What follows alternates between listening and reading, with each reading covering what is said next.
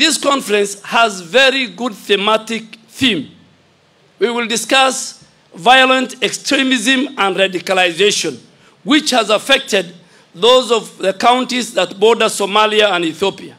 We want to be part and parcel of the people who will defend our national security. We will stand with the president and the deputy president of the government in making sure that our nation is safe. Number two, we want to address the element of cattle rustling and conflict among ourselves. That is our business the next two days.